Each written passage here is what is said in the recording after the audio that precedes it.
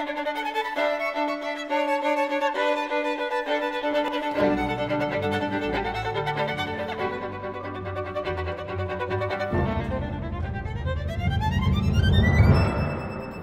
my name is Ning Kam, and I am a violinist as well as the professor of music at the Royal Conservatory of Brussels and at the Yehudi Menuhin School in the UK.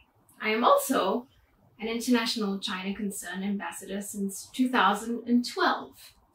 Back in 2012, I went to visit to see firsthand the work that ICC was doing in Hengyang, China. It was astonishing and overwhelming to say the least to see um, the challenges that the children there had to face with issues of abandonment, disability, and a lack of support. And it was incredible to see what ICC was doing with them. I believe that children are made in the image of God and that every child's life is precious. Four years ago, I had my second son, Nathan, and after he was born, we found out that Nathan has Down syndrome.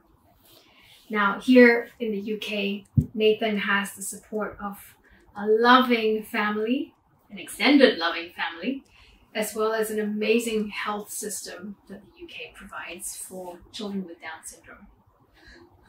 To think that if he had been born in China, it would have been a very, very different story. And it really made us realize how much more we have to be doing for the families in China and for ICC to support children such as Nathan.